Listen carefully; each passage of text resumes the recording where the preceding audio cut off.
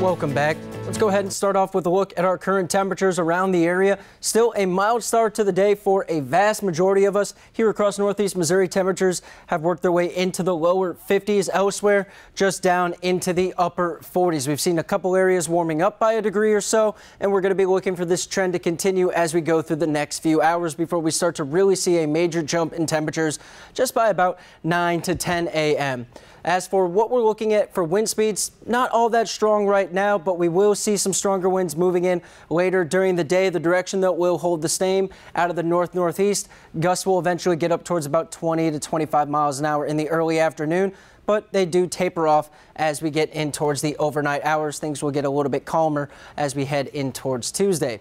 As for what to expect for temperatures later on during the day, 7 a.m. still holding in towards the upper 40s and low 50s. And then as we get in towards the early afternoon, we see a quick break in the cloud cover. We do have mostly cloudy skies to start, but as we get into the afternoon, we're going to see a lot of the sunshine extending from our northwest corners down through the southeast corners, but we will be holding on to some cloud cover mainly along our eastern and right up towards the Mississippi River. So we will be looking for partly sunny skies across the area today. Temperatures in the upper 60s and low 70s. So getting back even above the average for this time of year for some of us. So a very, very nice start to the work week.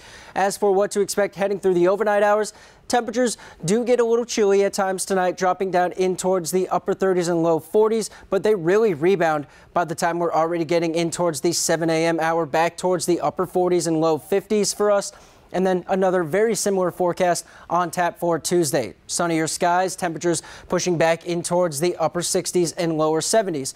But then things start to change. We have two cold fronts that will work their way through the area through the work week. The first one headed our way over the course of Tuesday night into Wednesday. Both of these cold fronts will bring a chance for some rainfall.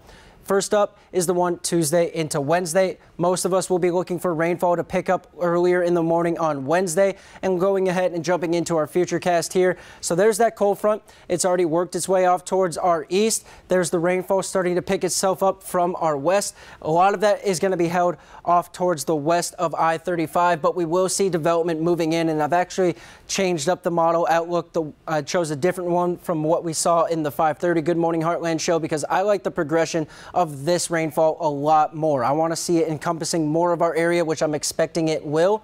So we are starting off, though, roughly the same timeline, just about 5, 6 a.m. to see rain showers starting off. And then as we get later into these morning hours, we see more widespread rainfall. Are we going to be expecting any type of thunderstorm activity?